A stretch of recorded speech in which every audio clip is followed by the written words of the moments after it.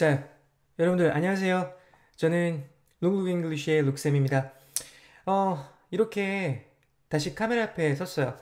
어, 제가 여러분들한테 일단 먼저 진심으로 고맙다는 말씀을 드리고 싶어요. 어, 제 책이 잠깐만요. 자, 여기에 드디어 세상에 나오게 됐습니다.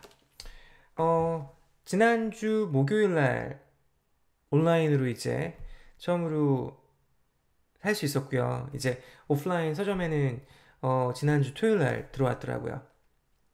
사실 제가 너무나 공을 많이 들였던 책이지만 이곳이 학생들한테 어떻게 전달이 될지 사실 그 긴장감이나 이런 거는 이루 말할 수가 없었어요. 물론 긴장감도 있었지만 저 뿌듯함도 있었습니다. 제 책이 그 평대에 있는 걸 보고 많이 뿌듯했고요.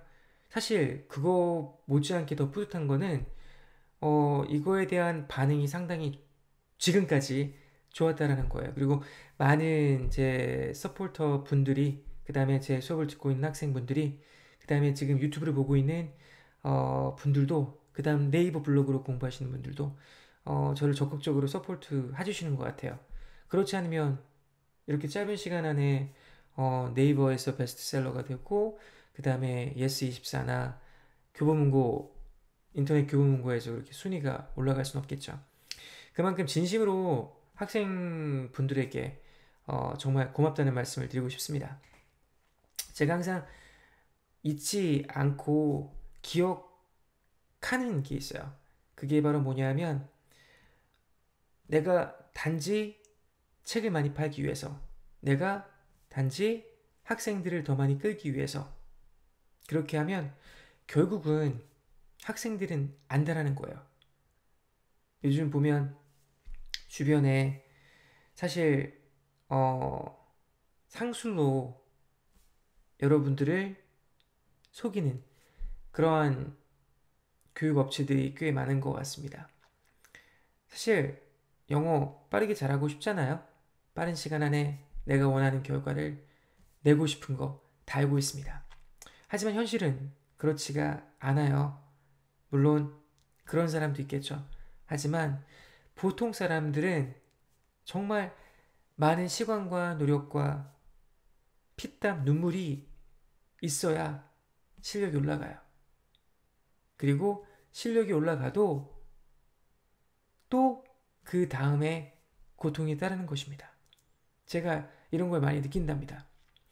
사실 제 책을 본다고 해서 여러분들이 갑자기 영어를 잘하게 된다라고 말씀을 드릴 수는 없어요. 하지만 제가 확실하게 말씀, 말씀드릴 수 있는 것은 여러분들이 이 책을 가지고 정말 적극적으로 반복을 하고 따라해 보고 그 다음에 한국어로 되어 있는 것을 영어로 만들려고 스스로 한번 훈련을 해 본다면 그리고 그와 같은 것을 계속 반복해 본다면 분명히 여러분들은 조금씩 조금씩 향상이 되어서 조금 더 편안하게 영어를 할 수 있는 자신을 발견하게 될 거는 제가 확신을 드릴 수 있습니다.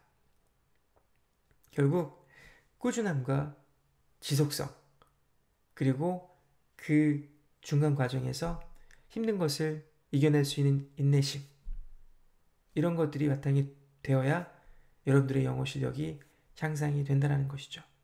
그리고 그 저변에는 영어라는 것을 공부가 아니라 어쩔 수 없이 하는, 어쩔 수 없이 하는 그런 영어가 아니라 내가 즐겨서 하는 영어가 돼야 된다는 거예요. 이거는 사실 영어뿐만 아니라 모든 우리 인생에 적용이 되는 것 같습니다.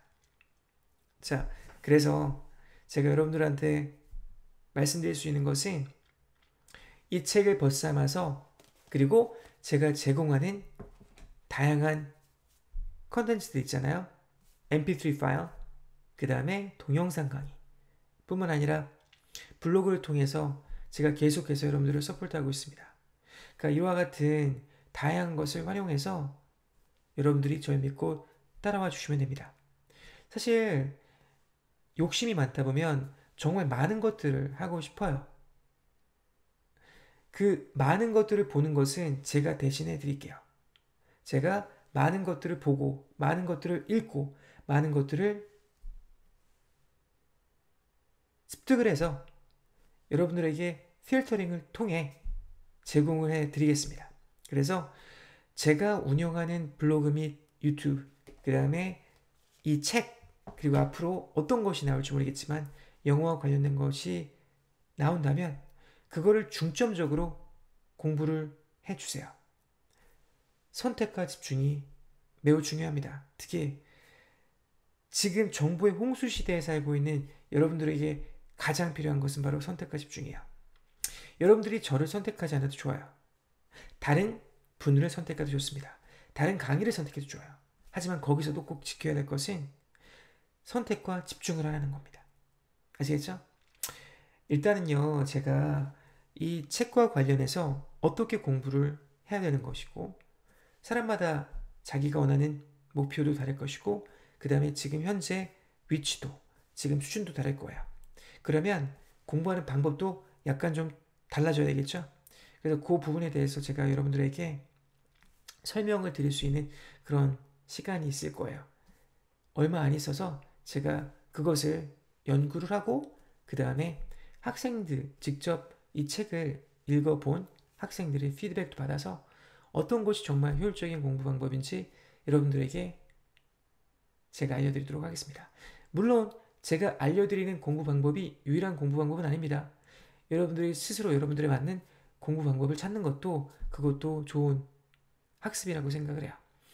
여하튼 어, 다음 시간에 제가 공부 방법을 가지고 찾아뵐 테니까 그때 뵙도록 하겠습니다. 오늘은 그냥 어, 고맙고 여러분들하고 소통을 좀 하고 싶어서 이렇게 카메라를 켰으니까 뭐 편집 그런 거 안 했어요. 그래서 어, 특별하게 그 부분에 대해서 너무 어, 너무 정성 없는 거 아니에요 이렇게 생각하지 마세요. 말해주셨으면 좋겠네요. 자 그러면 우리 다음 시간에 또 뵙도록 하고요. 앞으로는 좀 더 자주 여러분들을 찾아뵙도록 하겠습니다. 감사합니다.